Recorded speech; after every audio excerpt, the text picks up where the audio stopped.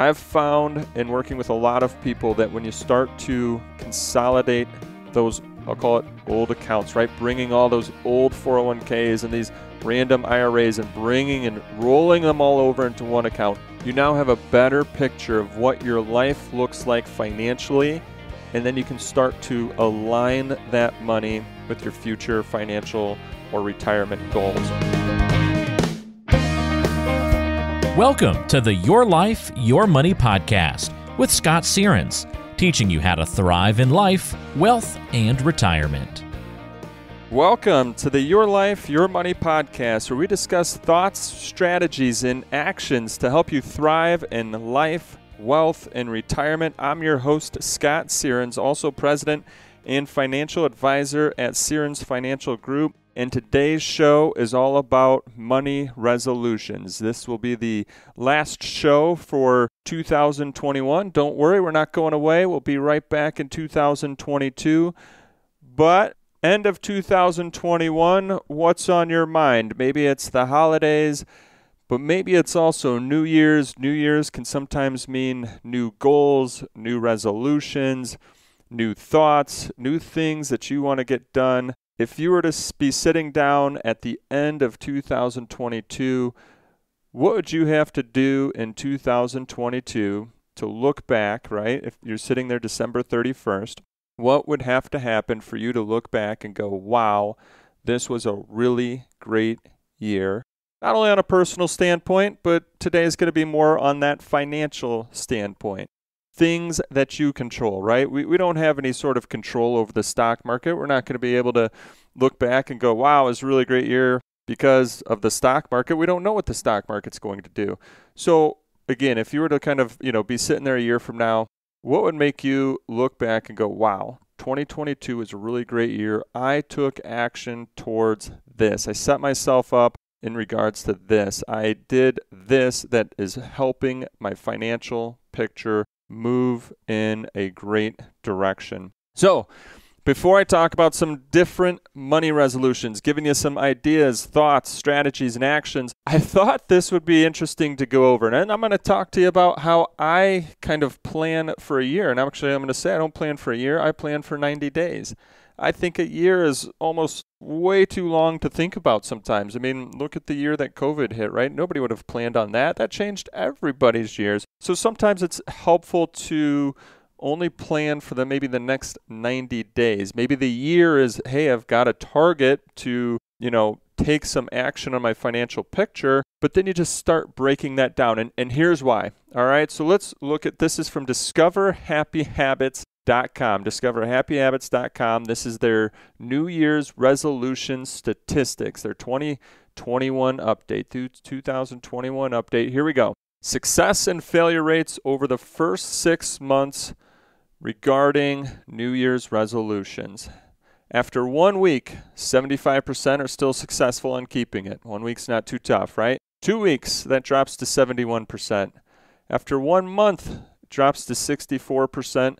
And after six months, 46% of the people who make a resolution are still successful in keeping it. Again, according to the website, we'll post it in the show notes.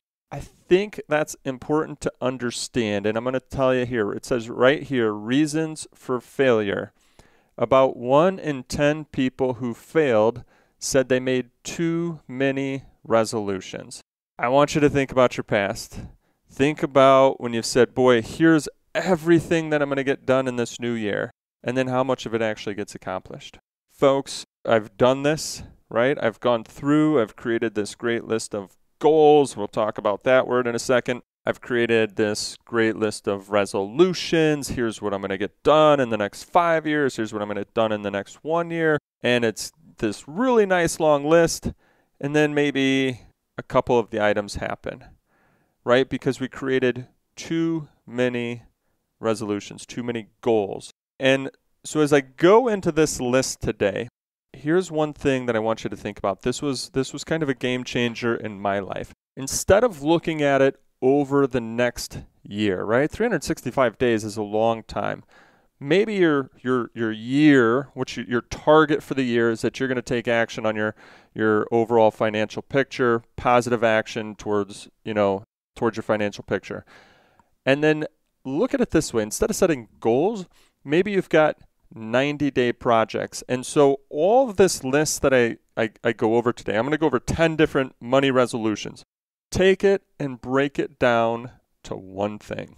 There's a really good book actually out there called The One Thing, and it talks about how breaking things down into the one thing that you can do today, the one thing that you can do tomorrow, all of those compound, all of those one things build up. So I don't want you to look at this of, oh, here's what I'm going to do over this next year and throw 10 things out there. Maybe just break it down into the, what is that one thing that you want to get done. And instead of over the next year, give yourself a, a shorter time frame. Here's the one thing I want to get done this month, or here's the one thing that I want to get done over the next 90 days.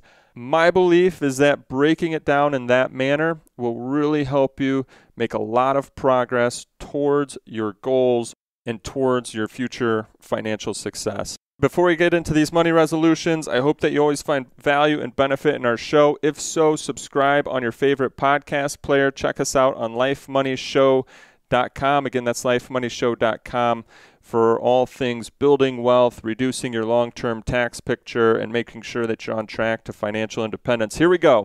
The 10 money resolutions that you could look at for 2022. And I mentioned earlier, I'm going to say instead of using the word resolutions or goals, if you'd sometimes look at those and go, eh, well, it's a, just a goal or ah, it's just a resolution, I don't have to do it, maybe call it something different. You know, a lot of times I use the word project. I don't know why. For me, when I make something a project, it just, in my mind, then I really want to get it done. So maybe say, hey, this is your money project for 2022, or this is your money project for the first quarter of 2022. This is your money project for the next 90 days. Whatever helps you get it accomplished, call it in your mind, whatever you want to.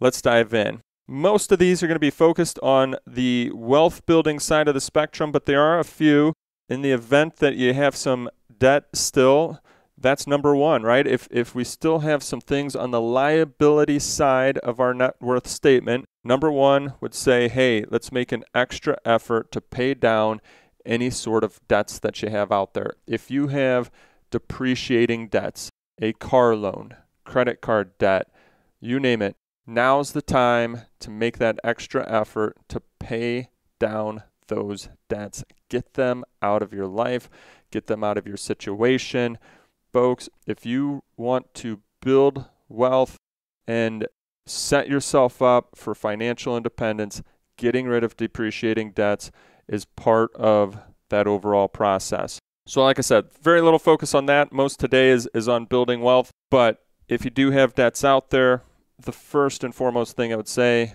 focus on getting rid of any sort of depreciating or high interest rate debts. All right, number two, making sure that you got the appropriate rainy day fund in place. You might call it rainy day, you might call it an emergency fund, you might call it a, a reserve fund. No matter what you call it, do you have it in place and is it fully funded? I think COVID was a great example, kind of opened up a lot of eyes to go, whoa, hey, things happen in the job world.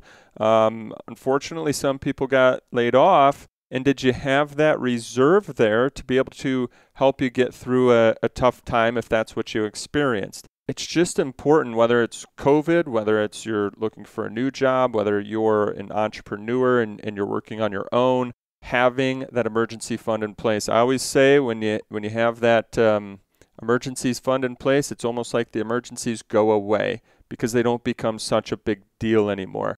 If you don't have it in place, don't overthink it what are your monthly expenses? And then just pick do you want three months? Do you want six months? Do you need one year? Three months is if you're really comfortable at your job. Six months, eh, we're not really sure what's going on in the job world. Maybe if you're an entrepreneur, you're, you know, all of your business is solely based on your own production, then maybe you want a, a one year emergency fund. Pick a number, don't overthink it, just get it done, get that in place. All right, number three. Now on to the wealth building aspect. Could you bump up or max out your retirement plan contributions?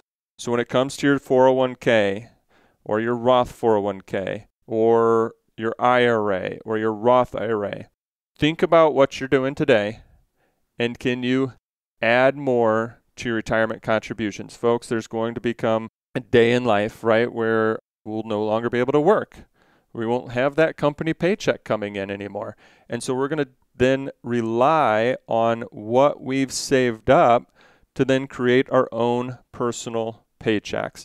And the more that you can put away earlier on in your life or each and every year, right? That's more money that is invested for you that is then growing and compounding in the stock market. So can you bump up what you're contributing if you're doing, you know, 5%, can you do 6%? Can you do 7%? If you're maxing it out, well, then maybe the next step that you want to think about is starting a non retirement investment account. You could call that a taxable account or a brokerage account. Start your non retirement investment account and start contributing to that. Here's the, I'll say, the main focus of all of this automate, automate, automate. Meaning, set it up for automatic contribution. So if, if you're now beyond the 401ks and the Roth 401ks and you're moving on to a taxable investment account, right? A non retirement investment account. Automate your contribution to that account. Set it up. Maybe you're going to contribute $1,000 a month. Maybe it's $500 a month. Maybe it's $5,000 a month. But make that automatic because then once that becomes automatic, once that disappears out of your checking account and goes over into this, you know, retirement savings or investment account, you're then back to living under, you know, what you have from an overall standpoint. It's kind of that save it, forget about it, let it grow for a later date. So, what can you bump up if you're already maxed out? Can you start that non retirement investment account and get that growing for you as well? Automate all of your contributions in, in regards to whatever account that you're utilizing because it just helps you get that process done. You don't have to think about it. It's not like, oh, well, if there's some money left at the end of the year, then I'll put it away because you know what happens. The end of the year comes, and then you're like, well, I'd rather spend this on gifts or another trip or another vacation, and then you forget to save it for that future. So automate it. Can't push that enough. All right, let's move on. Otherwise, I'll continue to say the word more and more. The next money resolution is should you do a Roth conversion? Now, this isn't one that you probably want to target in the next 90 days. So it might go on your list and it might be your your final 90 day resolution or project for 2022. But should you do a Roth conversion? Meaning, should you take money from your IRAs or 401ks, pay tax today, and get them into the Roth IRA bucket where they will grow tax free and then you can make all of your withdrawals tax free? Now, this is one where everyone's situation is completely different. You want to take into account what are your tax rates today. You want to take into account what will your taxable income be in retirement. You want to take into account what do you think taxes and tax rates will be like in, you know, your future years. This is one where you really want to sit down not only with your tax preparer, but your tax preparer is really looking at last year, what happened last year in your life, but you want to sit down with somebody who does tax planning and financial advising. Maybe you're able to, you know, handle this on your own. If so, great. If you're wondering what to do, again, sit down with a team and see if Roth conversions should be part of your 2022 list of projects. Here we go. Number five, maybe schedule some time to discuss finances with your spouse. So, if you're a married couple listening to this podcast, do the two of you sit down and take time to talk about your overall financial picture? Have you talked about your financial goals? Have you talked about what financial independence means to you? Have you talked about what retirement means to you? Have you talked about what you want to do in retirement or what you want to do when you become financially independent? Have you talked about if a legacy is important to you or not. There's a lot of things financially that sometimes we just become scared to talk about. And maybe it's one of your projects just to set up a, a monthly conversation with your spouse or an every other week conversation with your spouse. Maybe it's talking about the future, but maybe it's also looking at your financial situation today and saying, okay, here's where we're at from a budget standpoint. Here's how much we've got going out.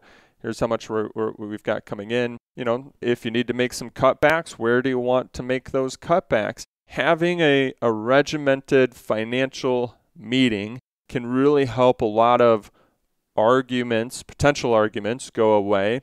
It can also help those potential unknowns that you're just sitting there wondering about the you know the, what the other person's thoughts are just have that open conversation and just sit down and talk about it. And remember there's there's no right or wrong answer in re- regards to what you want your your future to look like but are you on the same page? And so maybe one of your projects is actually taking the time to discuss your overall financial picture together and saying hey over the next 90 days we're just going to sit down every two weeks and we're going to talk about our financial picture. We're going to talk about different aspects of it. We're going to talk about our financial future. We're going to talk about what that means to us, what we want to do, where we want to stay. Um, maybe we want to stay home. Maybe we want to just do more activities. Maybe we want all of our money to go to a charity. Maybe we want to go our money to go to our children. Uh, maybe we want to become more charitably inclined and you know make those contributions. Hopefully, I've provided you a, a bunch of thoughts and ideas just to get started. But that's number five. Sit down, discuss your overall finances with your spouse. All right, let's move on. Number six. When is the last time you reviewed your life insurance? That might be your next 90 day project. Does your life insurance still align with your current life needs? I find that some people have life insurance that aligns with their needs. I've found where there's people that they have insurance where maybe they no longer need it. And then there's also couples where maybe life has changed. Maybe they've recently got married. Maybe now they have children. And maybe you're underinsured. So maybe that's your next 90 day project to review your life insurance needs. If something were to happen to you, those that count on your income, would they be okay? Number seven, Interest rates are still low. If you haven't looked into it yet and you still have a mortgage, should you refinance your mortgage? This is one where it's a great time still. Interest rates are low. I know that the uh, housing market is very interesting, but if you're you know looking for a new house, hey, great time because interest rates are low. But if you're just planning to stay home, and have you checked out is there potential long term savings by you refinancing your mortgage? Not only maybe could you get a lower rate, but could you also get a lower term? And it really is important, right, to compare not only just, hey, what your monthly payment is, but what is that overall interest that you would be paying to the bank? How much of that could you keep in your pocket versus you know paying it to the bank? So don't just look at that payment. You know i know a lot of times refinancing the mortgage you can look at the payment oh did my payment go down? Great. But are you also in the overall picture setting yourself up to keep more of your money with you and pay less interest to the bank? That was number 7 here we go. Number 8 Maybe your first 90 day project is to update your tax withholdings.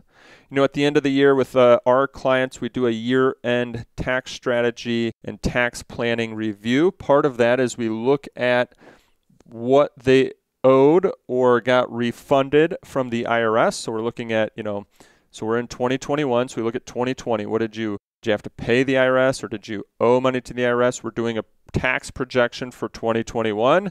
Do we have enough money paid in? And if you're somebody that's been making some rather large payments to the IRS when tax time comes and you don't like surprises, then maybe you need to update or increase your withholdings so you don't have those surprises come April, right? So you're focused now on the on your 2022 taxes and of course you won't see that tax bill until 2023, but it's the time of year to update those withholdings. Now, if you've been getting thousands and thousands of dollars back from the IRS, maybe it's time to stop giving the IRS a free loan and you want to reduce your tax withholdings. It's a good time just to sit down with your tax preparer, your financial advisor, or if you do all of this own, look at your overall tax situation, calculate what's being withheld from all of your different payments that are coming to you. And if everything's on track, great.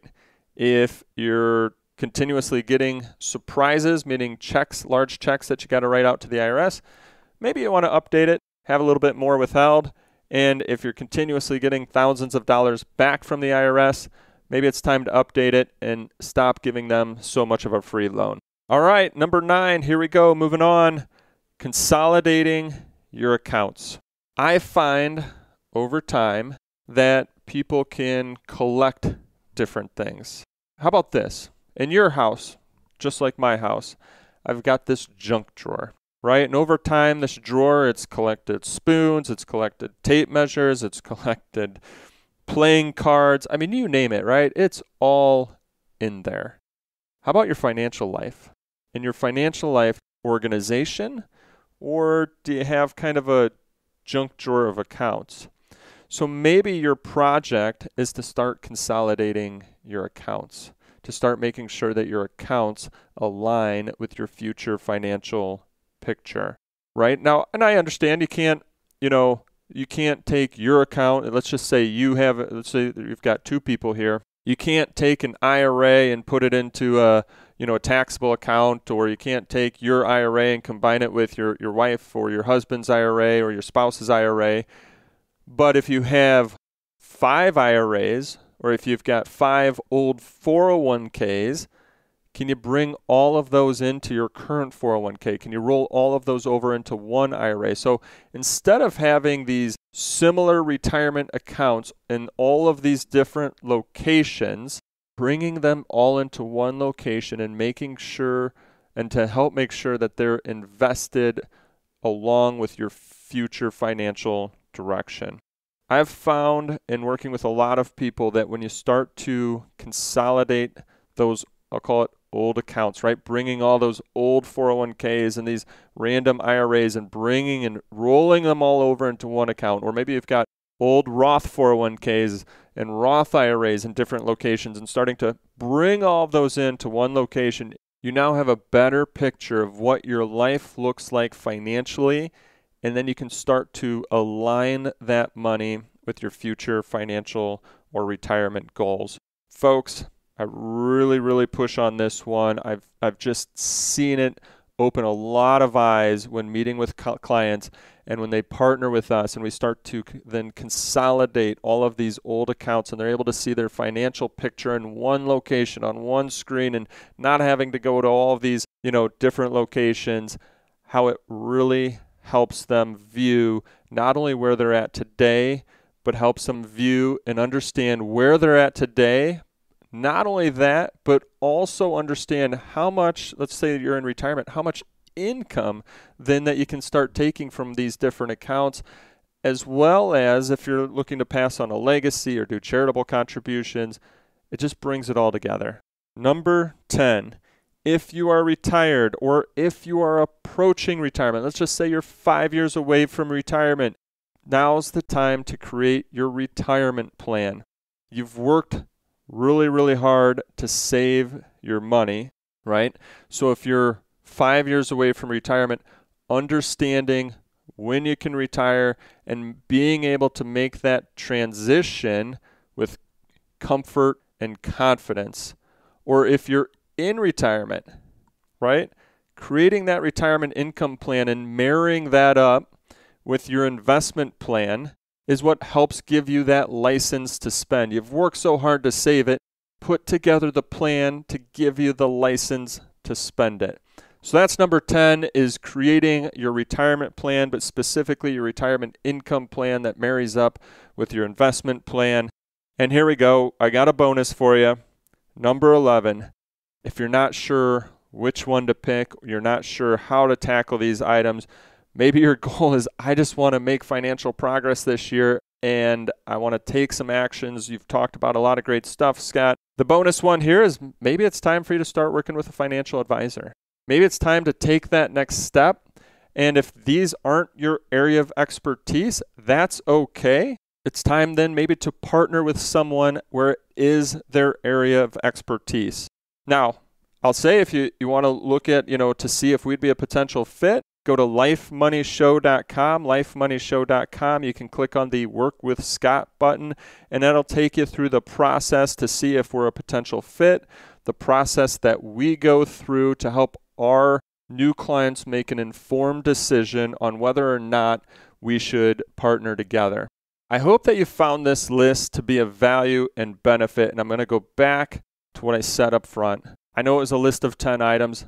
Narrow it down, pick one, maybe two, but just give yourself that one thing to focus on and find that word to call it right that that you're that triggers in your mind that says boy i want to get this done. I call them projects right? My project for the next 90 days is x. So what's your project for the next 90 days? Or maybe you want to put a month time frame on it but while your 2022 resolution might be yes i want to make financial progress and i want to set myself in a, a positive direction financially narrow that down to one thing. Take this list, narrow it down to one thing, and what is it that you want to start on or get accomplished over the next 90 days? I hope you're finding this podcast to be of value and benefit.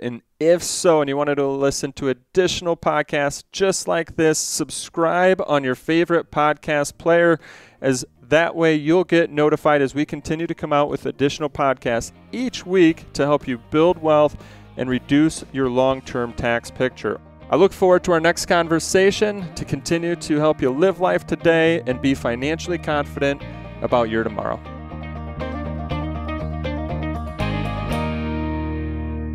Sierens Financial Group is an independent financial services firm that utilizes a variety of investment and insurance products. Investment advisory services offered only by duly registered individuals through AE Wealth Management LLC. AE Wealth Management and Sierens Financial Group Inc. are not affiliated companies. Investing involves risk, including the potential loss of principal. Any references to protection, safety, or lifetime income generally refer to fixed insurance products, never securities or investments. Insurance guarantees are backed by the financial strength and claims paying abilities of the issuing carrier.